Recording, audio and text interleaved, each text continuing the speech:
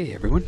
Um, sort of the first sub-assembly, the uh, really the uh, cockpit, actually all the pieces that are required. There's kind of two ones that go together, and then um, two that'll kind of go on in the back. Everything just fits so nicely. It's really well done. Um, it's just just lovely. I, I have sanded off all of the little sprue edges, although there's not a lot. You know, in theory, goes in here like this. That's but What's funny is um, that's not a full-sized hatch, right? That's uh, that's what's connecting to the next module um, to the 172 scale, and from what we could, you know, what we can see, that's a that's a pretty pretty small hatchway actually, um, and is not a um, is not a full-sized hatchway. So one of the things, as I mentioned, I do have the uh, the photo etch set um, for this kit. And uh, one of the things that they, they have in here is the capability of using um, this piece, which um, it gives you a full-sized hatch. So that, if you can imagine, that's going to go here, um, and, and we'll have a doorway in uh, in behind it. So um, we'll cut this piece out, and uh, and then um, fold these over so that they're at 90s each of these, so you can imagine it's going to have a little bit of a curve. It's going to match this curve, and it'll kind of lay over top of here, and then in behind goes door number three. Currently, the model doesn't. It's a closed. It's closed. There's no. Um, there's no detail uh, inside the cockpit, so the windows are not open. It's kind of funny. They they do give you the option to um, to include in the actually in the stickers. I found this kind of funny, or not stickers, the decals. Sorry, um, they do have the option to include, you know, you can see Koenig here and Alan. Kind of, you could put them in there, uh, literally decals, so that um, you know you could see see Koenig kind of looking over at Alan and Alan looking over at him, and or you could have them with their the little uh, helmets on, Koenig and Alan with helmets on. So anyway, that's um, just kind of a, a, a funny option that I won't be doing. Um, what I'm going to be doing instead, of course, is uh, actually, uh, once again, um, using the uh, Paragrafix, and, and here's our little window frames down here. This is the top one, and then this is the bottom. Um, and uh, we'll be cutting out, I'll be cutting out, uh, cutting out this section uh, on each side, so they actually make little windows. And then course, they, they give you a little bit in the Paragrafix kit. They give you a little bit of um, um, plastic to uh, fit in there, and we'll be cutting out a piece, two pieces there to go in behind there to give sort of the window. Um, and then, and then of course, inside, we actually have the detail. We have the back sort of um, plate that's kind of going to sit in here like that and uh, it's going to I'll paint that up as well. I've just been um, uh, fine tuning um, and sanding down the little remnants of any of the sprues, just with some uh, good 320 uh, sandpaper, and just kind of really gently, just working them uh, patiently, uh, whatever little bits are left.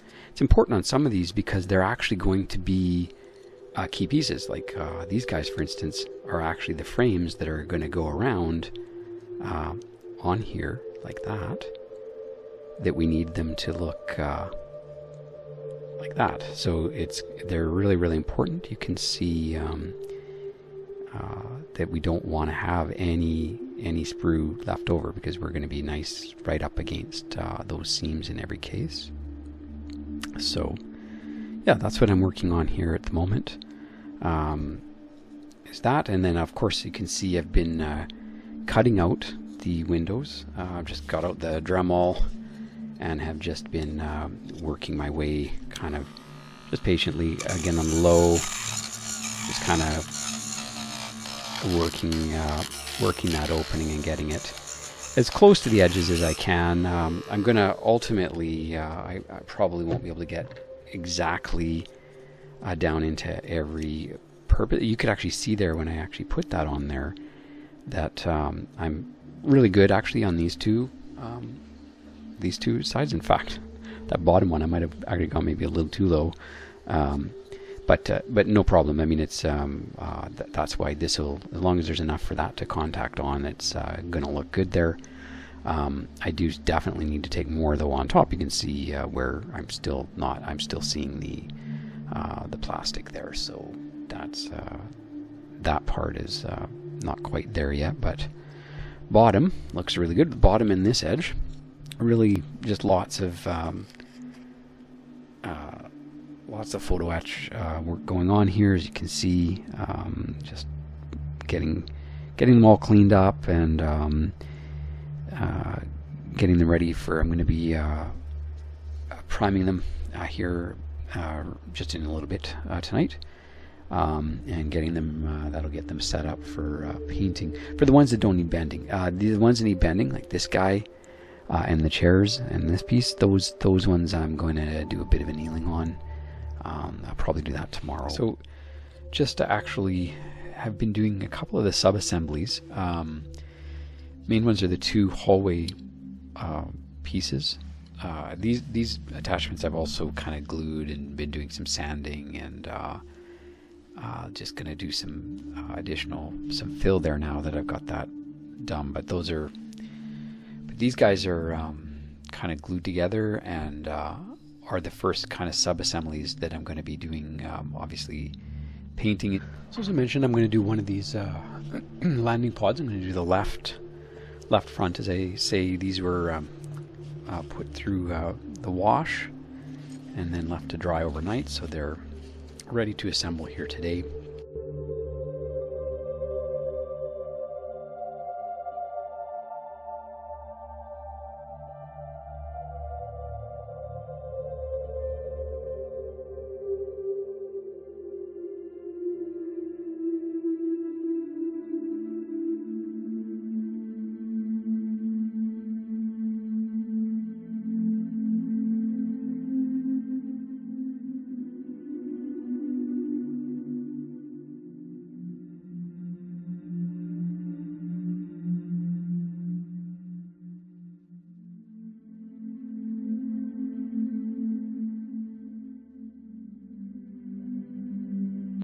Still just doing a little bit of uh, finishing on uh, these pieces. So I've got the two, um, this is the bottom side, and just adding a little bit of um, uh, putties you can see uh, around those to just make sure they get nice edges. I did have to do a bit of sanding here, and I wanted to make sure there's no uh, gaps there, so just a little bit there. I'll just sand these. I haven't sanded this all down yet, but um, so doing a bit more work. And same on this guy. That's in the front one where you can see the little. I've got the green tape there underneath, so you, the windows uh, eventually I'll have my plexi going in there, but also same idea, just filling in the any gaps along the inside edges, and then just uh, adding just a little bit uh, where necessary to just smooth out that top area there. So these will get sanded as, as well.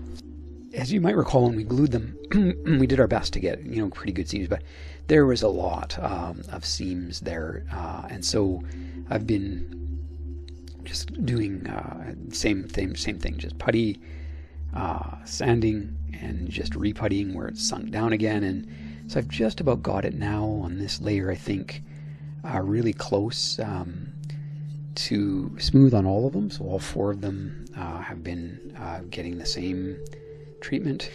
Now the cockpit uh, back wall, you can see yesterday I did do the first little bits of the black parts that are um, on that kind of facing um, and so I did uh, tape that all off and uh, add the black, and I'm really, really happy with it. So what I was going to do here is actually um, just kind of take this off uh, because I'm going to have to now, the rest of this, as you know, actually is sort of a orangey red.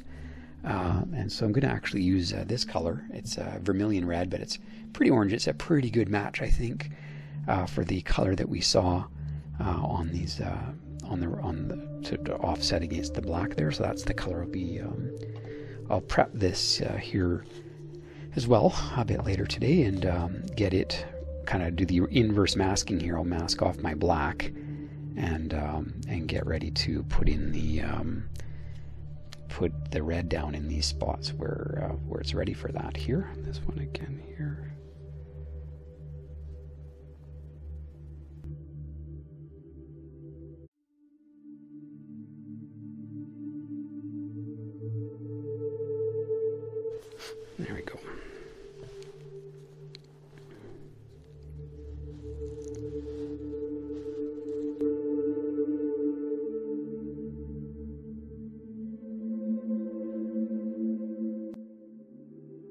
Guys, uh, wanted to update you with regards to the pilot figures that I'm going to be using in um, in my Eagle. Uh, they're really all I was looking for is one to seventy two um, scale seated figures, and I happened to find uh, this package at a local hobby store uh, for under twenty dollars Canadian, which is just great.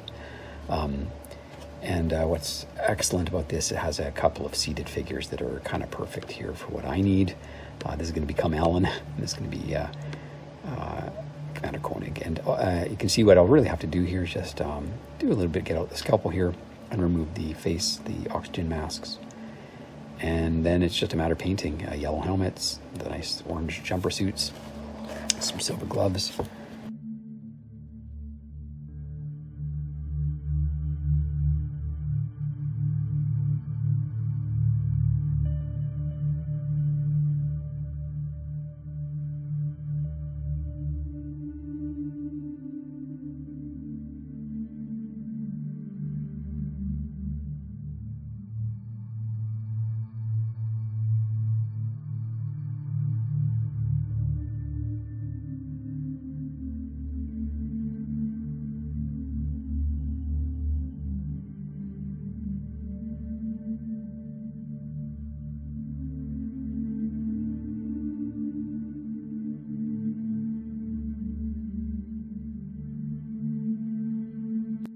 Quick update on my little little pilots here. Um, so just added a couple more little pieces. Uh, made sure um, there's a little touch up on the flight suits just to make sure they're com- got complete coverage. They're they're pretty much ready to go. I did uh, have these painted, and then I realized I needed to file that off because the I'm going to be gluing their butts to these seats, and so I need to have uh, some bare metal so that's been sanded off as well now. Um, and uh, at the very end, I'll sand off these guys' uh, rear ends as well so that they can be stuck on there. Hey everyone, just um, doing a little bit of uh, finalizing my color uh, for my eagle. Um, so I've you know, obviously done a lot of research. A kind of big decision in terms of the base color to use. Um, I, I think uh, it's pretty conclusive that uh, the you know, the color of the original uh, was that Ford Diamond White, um, which is a something uh, that where I'm at that's not uh, readily available.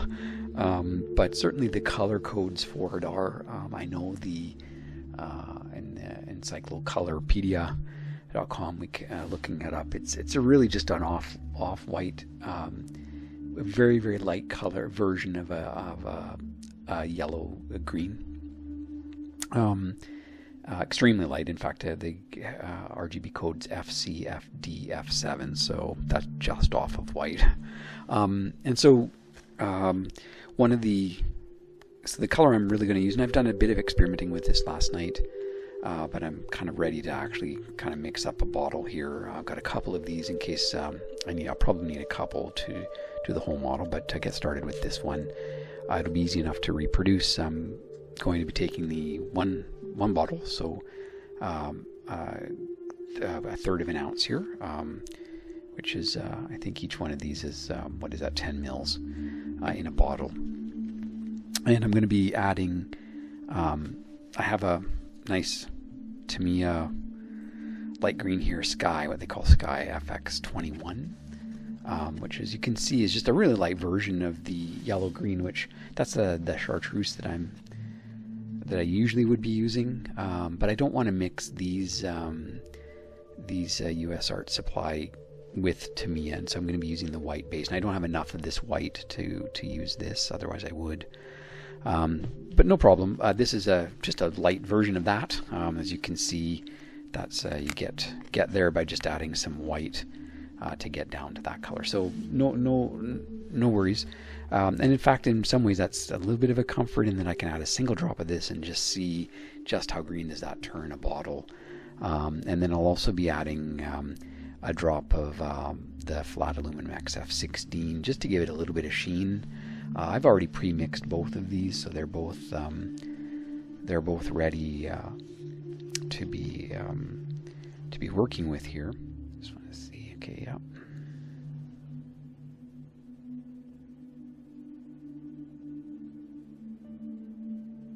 There we go, one drop. That's all I want to start.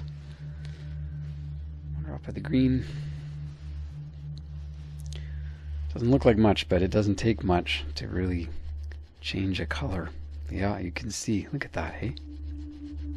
200 drops of white in there. That one drop, and boy, that's no longer white. Amazing. But that's that's the color. That is the diamond. Diamond white is a, is a green, or very very light green color. So, and that's what we just got here. Yeah, you can see that difference. Look at those side by side. I don't know how well you can see it with this here. Let's just see. So that's got our green in there now, and uh, yeah, it's it's noticeable.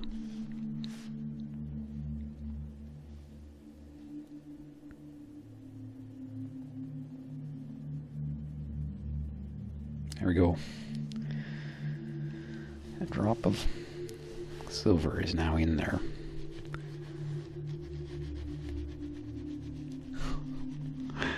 Wow, it really gives it that. Yeah, you get a little bit of luster there suddenly. I'd used, uh, this is actually uh, uh, aluminum, uh, Tamiya, see flat aluminum XF16.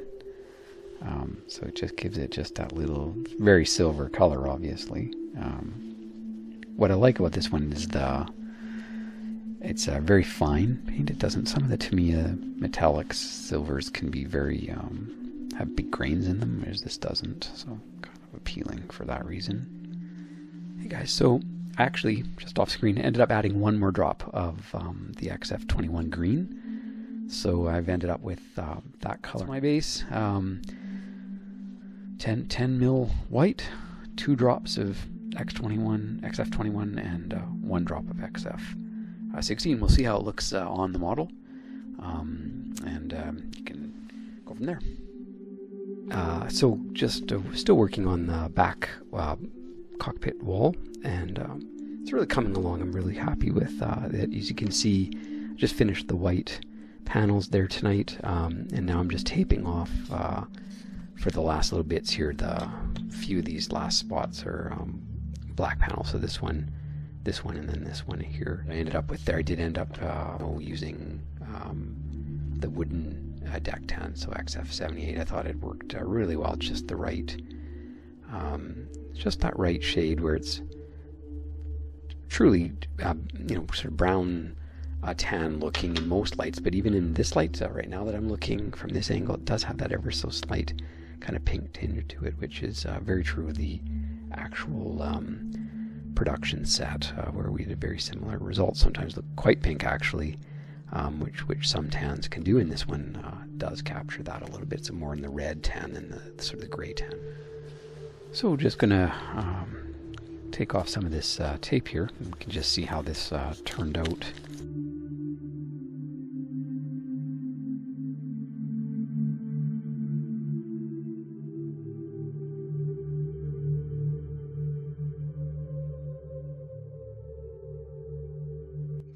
It.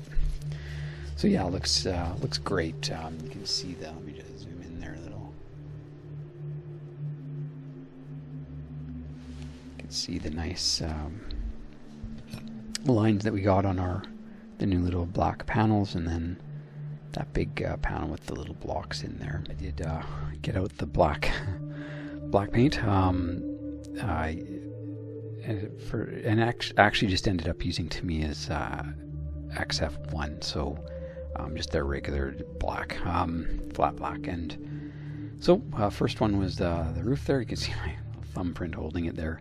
Um, so just uh, spraying in the windows there uh, on the sort of the triple the triple panes um, on those top windows, and then the frames are already in there. Remember, I've got my um, uh, already have the uh, little photo etch pieces already inserted in there, so I've got the uh, little bit of relief there, and then I'll be just uh, putting in the the little stickers there and uh, repainting this all, uh, or getting another probably couple coats of my diamond white version uh, that I'm using for my base. The um, nose cone um, parts, so the black obviously in the top and the bottom, of those sort of window and bottom opening sections. Um, and then I'll just tape these off, uh, the black sections as well, and then again get that all with uh, some white paint. That...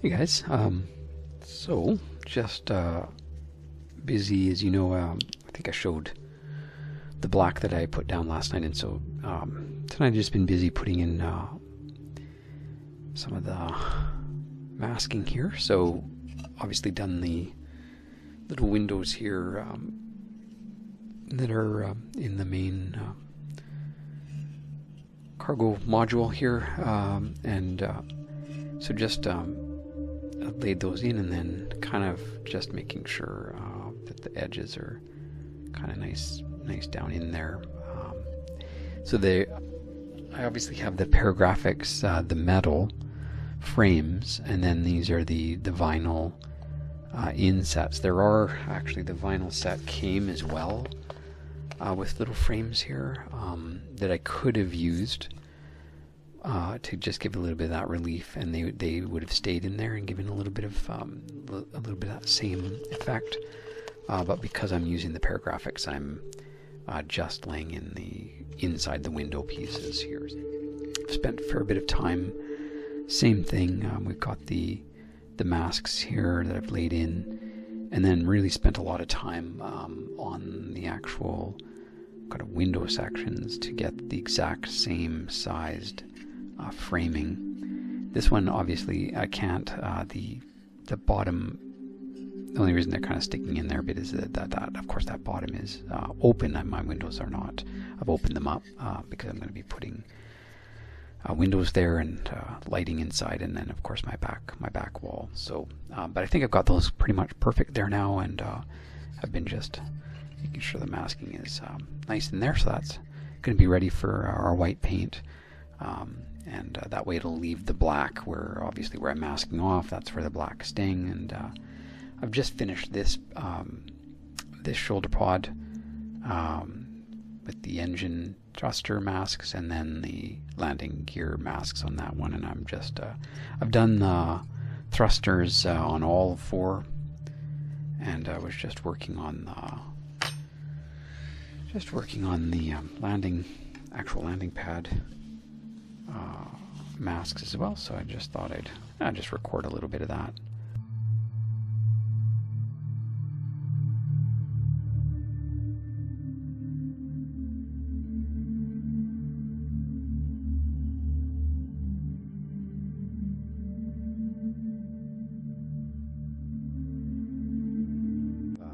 lastly, I did uh, used um, the Vallejo uh, shiny black, um,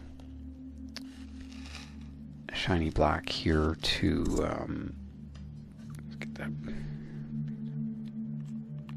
Sure, it's not there. Uh, shiny black. Have this one, gloss surface primer. Um, this is the recommended uh, primer um, for our uh, the aluminum that we're going to be laying down here um, that we'll be using on all these parts. This is all the the aluminum parts. Um, went out really nice as usual. The Vallejo um, primers uh, are just a real pleasure to to put down. They just um, go, you know, just really nice uh, flowing, and uh, and they always smell so good. it's weird but true. Um, anyway, so those uh, look really good, um, and uh, I'll uh, let those dry up. Um, that that that primer does. Uh, they do do that. You um, asked that you spend a fair bit of time there. I think uh, 12 hours or something. So anyway, it doesn't matter. I definitely wasn't going to work on these tonight. Um, but uh, tomorrow night we might um, do a potentially do a bit of um, some aluminum coloring on here